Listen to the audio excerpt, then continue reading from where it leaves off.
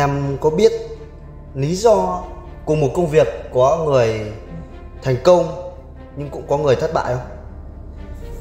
Cái người thành công ấy, thì họ, khi nhận công việc đó, họ bắt tay vào làm luôn. Còn cái người mà chưa thành công ấy, với công việc đó, họ biết họ biết làm và biết làm hay, nhưng dường như là họ trì hoãn, họ không làm có một câu nói rất hay của ông thầy em. Ông có nói một câu là thằng giỏi là thằng làm nhiều mà thôi. Bản thân em thì ờ, không phải chuyên môn về ô tô đâu cũng chả phải chuyên môn về marketing.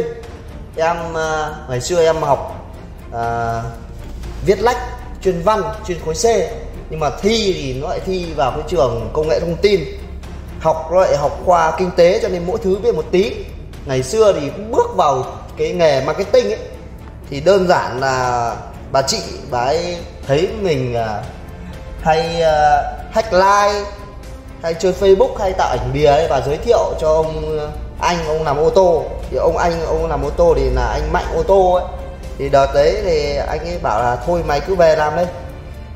Làm marketing cho anh. Chả biết marketing nó là cái gì. Thì anh ấy đi học thầy long à, thì đầu tiên thì học những cái lớp thầy long thì cứ vào những cái lớp đánh thức sự giàu có thì mình nhìn thấy nó cũng hơi đa cấp một tí. À, nhưng mà sau này thì mình cảm thấy rằng là nó cũng có động lực từ cái câu nói đó là làm đi. Có một cái câu nói đó là làm đi. Thầy nói là làm đi. Hỏi cái gì thầy cũng nói là làm đi.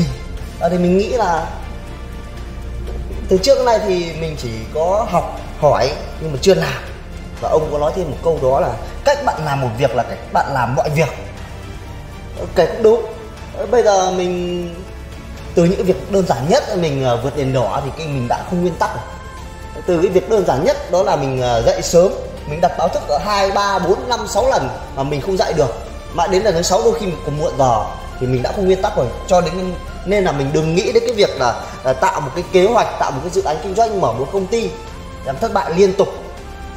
Vâng và cái kế đến bây giờ ấy, thì à, đi học bao nhiêu khóa thì em rút ra một cái điểm. Hoàn thành là hơn hoàn hảo và cái quan trọng là mình học nhiều thì mình phải làm. Cứ làm nhiều thì chúng ta kết quả.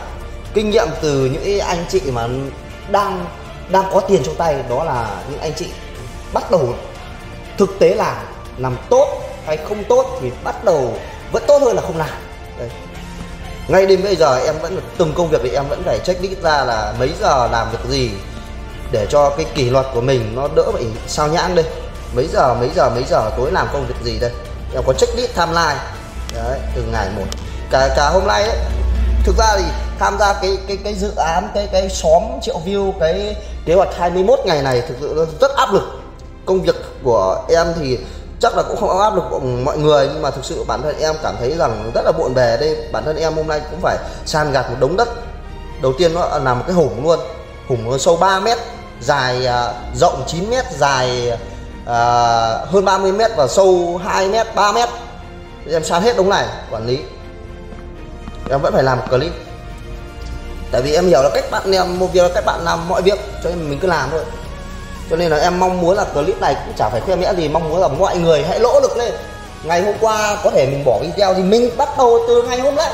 Hôm nay bắt đầu còn hơn là hôm nay không bắt đầu. Lỗ lực làm là có, anh em ạ. Cứ làm. Việc mình làm, một việc là mình làm, mọi việc. Cứ làm đi, anh em nhé